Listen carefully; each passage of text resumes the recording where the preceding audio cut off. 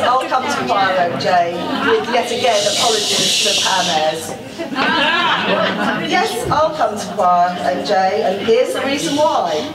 So you can teach us how to sing, and even though we make you cry, but if we hit a bum note or talk or come in late, you've got the experience and can investigate. Yes, we'll come to choir, MJ. You may not apprehend it, but when that unknown region goes, we'll dance and celebrate it. The BCS, your firstborn, all pay their frigging dues. Concerns and joys of girls and boys dealt by with, well, you know who.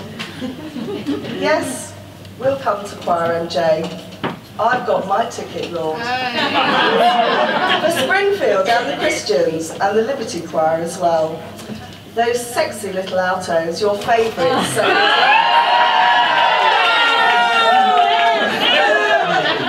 we'll squeak and squawk in tune to make all the others jealous.